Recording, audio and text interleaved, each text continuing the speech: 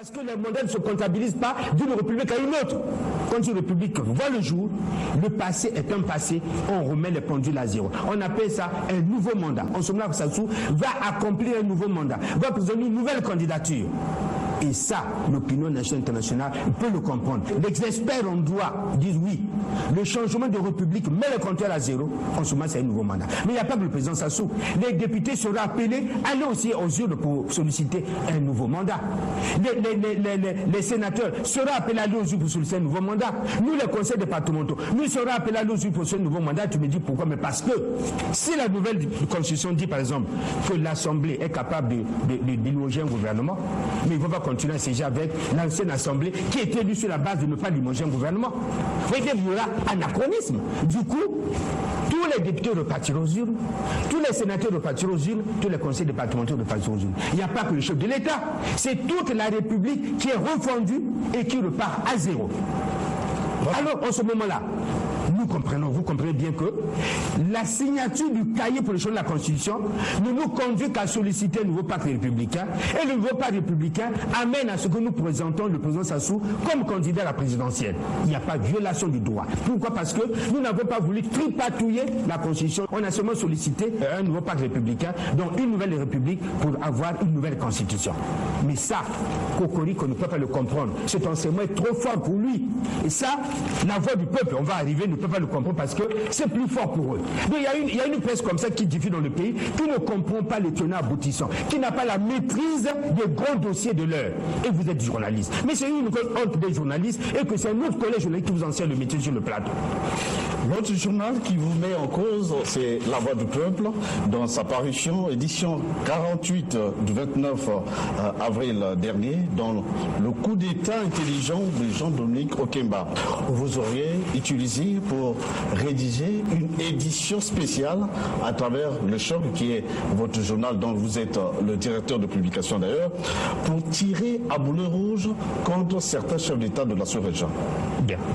Alors, euh, quand j'ai lu ce journal, le coup d'État intelligent de Jean-Dominique Okemba contre Sassou, sincèrement, j'ai sursauté parce que, pour deux raisons. La première, Jean-Dominique Okemba, c'est le président d'honneur de la JIDOC, Association de Okemba, justice régionale. Donc, quelque part, c'est mon chef qui est interpellé par la presse. Et la deuxième raison, c'est que je suis étonné, moi en tant que journaliste, que la culture de coup d'État fasse encore la une des journaux. Je suis étonné. Je ne sais pas si vous n'êtes pas étonné. Aujourd'hui, le vocal congolais en termes de coup d'État a changé. La plupart des pays africains et l'Union africaine elle-même dit que l'appui du pouvoir par coup d'État est condamné. Les Congolais, en adoptant leur constitution, en quittant le mono, en allant à la démocratie, jusque-là, les Congolais savent que le temps du mono est révolu. Si vous voulez accéder au pouvoir, il faut passer par les urnes. Donc la presse congolaise, au lieu de cultiver cet apprentissage de la démocratie aux Congolais, au lieu de l'enseigner, la presse congolaise continue avec ces genres d'éléments. C'est-à-dire, dans la tête de ce journaliste, et je peux lire le nom directeur de la publication, monsieur euh, Brunel, Brunel Lusaku, monsieur Brunel Lusaku, pense qu'au Congo, il y a encore une culture coup d'État. En fait, quand tu lis l'article, il est assis dans son, dans son bureau, j'espère qu'il en a un, et il se met à écrire comme ça, un coup d'État imaginaire. D'abord, un, le vocal coup d'État ne passe plus dans l'opinion, parce qu'aucun Congolais, alors aucun Congolais ne peut plus prendre le pouvoir par coup d'État. D'une manière, puisque les textes sont clairs. Deuxièmement, il s'agit d'un militaire. Notre ami journaliste ignore que la Constitution a dépolitisé l'armée. L'armée est apolitique. Aucun militaire ne peut faire œuvre politique. Il ignore la politisme de l'armée. Si le compte amiral Jean-Dominique Okemba doit accéder à un Messie suprême, la première des choses, il faut qu'il passe par un long cheminement. Un, démissionner de l'armée. Ce marais que je connais dans le sang et dans le poil, c'est difficile qu'Okemba quitte la marée. Démission de l'armée. Deuxièmement, créer un parti politique ou intégrer un parti existant. Et ensuite, se faire choisir par les membres de son parti pour qu'il soit proposé à la Messie suprême comme candidat. Ce cheminement est là. Il n'est pas facile. Mais notre ami de la voix du peuple ne peut pas avoir cette culture-là. Pourquoi je raisonne comme ça? Parce que le logiciel qui est dans ma tête, il a jour. Mais le logiciel qui est dans la tête de notre collègue, c'est un logiciel des coups d'État. Du mono. C'est au mono quand on doit attention, il un coup d'État. Où les généraux, les colonels, les chefs d'état-major se mettent à faire des coups d'État. Lui, il est encore dans ce logiciel-là. Et c'est que pense-t-il qu'aucun est en train de préparer un coup d'État intelligent. Et quand vous lisez l'article, l'article se repose sur les termes journalistiques qui poussent le journaliste au mensonge. Quand un journaliste ne maîtrise pas l'information, je connais la, profession, il utilise des termes saugrenus comme du milieu proche du dossier, euh, un témoin qui requiert l'anonymat, euh, des sources proches du dossier, c'est ça ces formules-là. Et comme vous lisez ce journal, je crois que vous l'avez lu, rien d'objectif n'est écrit. Oui, à Zidon de Marseille, il y a euh, un adage populaire de chez nous qui dit qu'il n'y a pas de, fumée sans feu. Et pourquoi les intéressés eux-mêmes ne réagissent-ils pas? Bien. Mais dites-moi, euh, on va réagir à quoi? Pour une information qui, est mise sur le marché. Vous imaginez ces, grands cas de la République passer sur un plateau euh, pour essayer un peu de répondre à, M. Brunel Loussakou et qui dit un journaliste et quand tu lis le papier, le monsieur n'est pas journaliste. Et je vous le démontrer. Monsieur dit c'est dans son papier, il y a une partie qui m'intéresse parce qu'il parle de moi. Okemba aurait commandité un numéro du journal, une édition spéciale pour tirer à boulet rouge sur certains chefs d'État africains. Il parle de Kabila, il parle de Biya.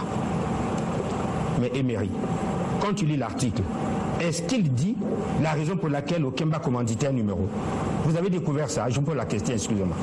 Y a-t-il une raison? Il ne donne aucune raison. Il dit le journal de choc Okemba commandité un numéro pour tirer à boulet rouge sur le Kabila. Quand vous écrivez comme ça, le, lecteur n'a qu'un pan de votre article, c'est-à-dire il y a un numéro qui est commandité. Mais vous devez donner la raison pour laquelle Okemba commandite un numéro. Si vous écrivez comme ça, l'information est squelettique, c'est-à-dire votre écriture est squelettique. C'est un non-sens c'est un non-papier. Okemba a commandité un numéro pour tirer à boulet rouge Kabila. Point. Il s'arrête là quand il parle d'Okemba, dans dans ce papier-là. Voilà, il dit ça. Et quand vous lisez cela, vous n'avez pas le complément d'information.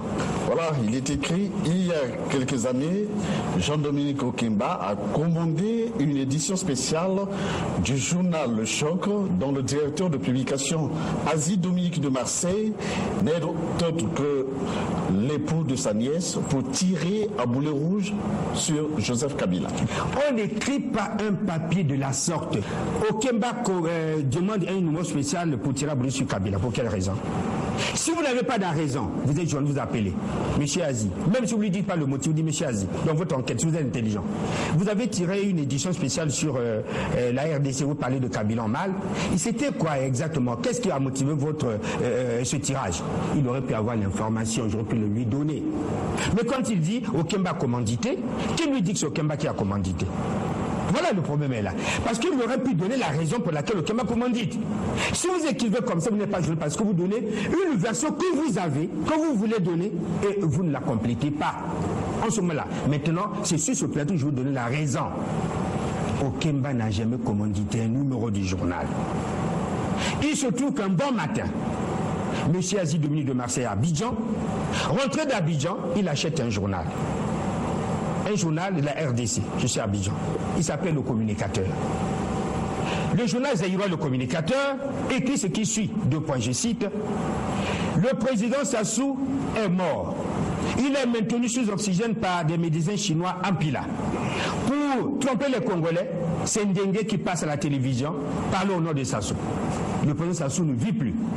Et le journal, le journaliste, le journal Zaïro, le ne s'arrête pas là. Il pousse son bouchon plus loin. Et ce qui m'intéresse d'ailleurs, et je cite, je mets au défi tous les journalistes congolais qui peuvent me contredire en me publiant le certificat médical de Sassou voir qu'il est en bonne santé. Monsieur Emery, ne demandez pas à Monsieur Azi si ce genre d'article est lu dans un journal de se taire. Il y a encore des Congolais qui ont la haute notion de l'État, qui ont la haute notion de la nation. Désolé, je ne suis pas mis ces Congolais-là. Je ne suis pas ceux-là qui accompagnent la destruction systématique de notre État. Et RFI a dit, Afrique Éducation a écrit, Jeune Afrique a écrit sur le Congo, en mal. et des articles mensongers et nous nous mettons à reprendre et à applaudir.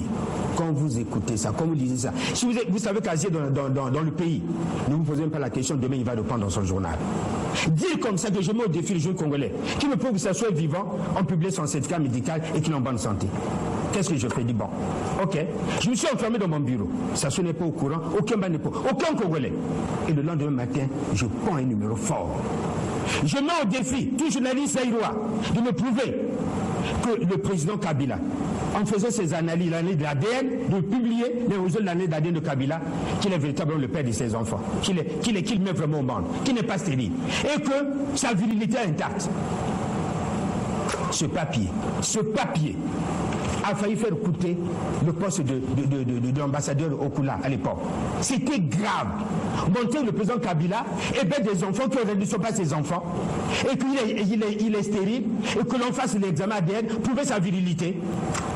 Mais attends, quand tu me tapes une gifle, ne t'attends pas que je te caresse dans le sang du poil.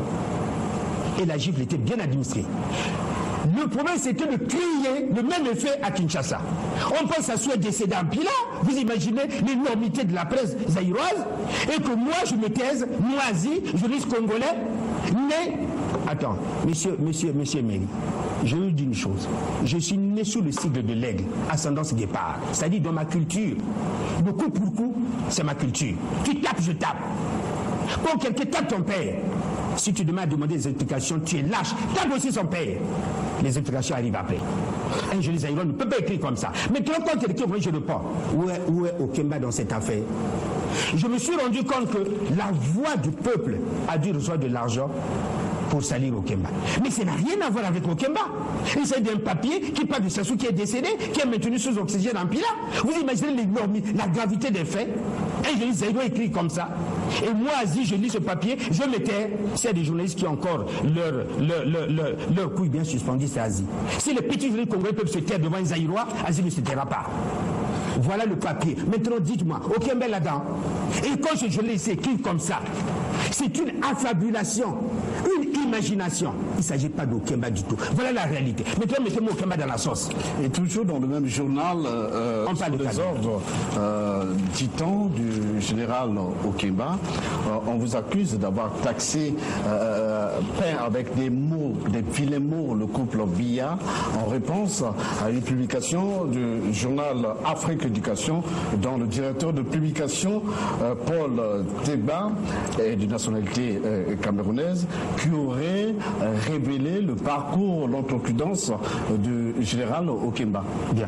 Le, le parcours de Sakodo. Voilà.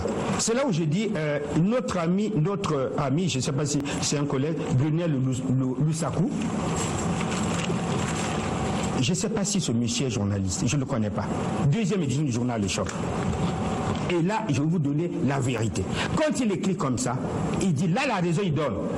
Le journal euh, Afrique Éducation aurait traité au Kemba, et a, fait de son parcours Sakodo au niveau de la marine. Je suis désolé, c'est faux. Pourquoi une édition spéciale? Nous sortons de la guerre. Un joli, quand il écrit, il dit, il donne des précisions. On ne prend pas la plume, mettre en cause les grandes personnalités si votre plume n'a pas une précision d'orfèvre. Écoutez-moi ce que je vous dis. Nous sortons de la guerre.